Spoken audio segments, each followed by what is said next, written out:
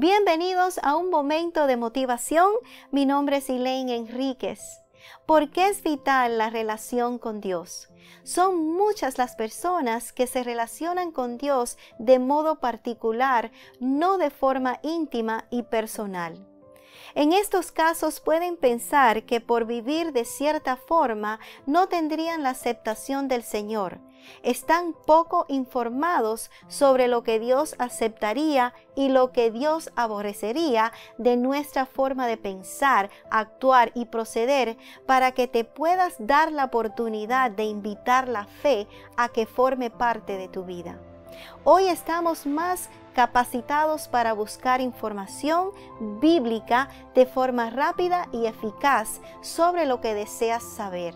Es una guía maravillosa, contiene 66 libros que te ayudarán y guiarán cada día. No dejes que el tiempo se te escape sin nutrir tu vida espiritual. Todo lo que hay en este mundo, Dios lo creó para disfrutarlo, su belleza, pero el tiempo acá es transitorio.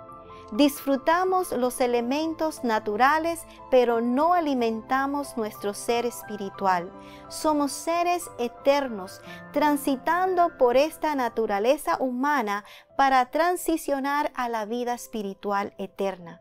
Vamos a la palabra en Juan 17, versículos 16 al 18. Es la Reina Valera 1966. No son del mundo, como tampoco yo soy del mundo. Santifícalos en tu verdad. Tu palabra es verdad. Como tú me enviaste al mundo, así yo los he enviado al mundo. Recibe a Jesús en tu corazón para que recibas la vida eterna.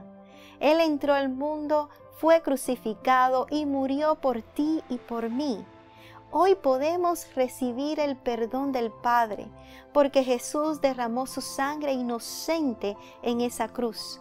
No hay nada que Dios no pueda perdonarte por el sacrificio que hizo Jesús. Si te agrada estos segmentos, compártelos con tus familiares, amistades, amigos y toda gente que esté a tu alcance para más inspiración, puedes visitar nuestro sitio web en ovmradio.com. Si tienes petición de oración, escríbenos al siguiente correo ovmprayforme@gmail.com. Qué lindo compartir con todos ustedes. Dios los bendiga. Hasta la próxima. Bye bye.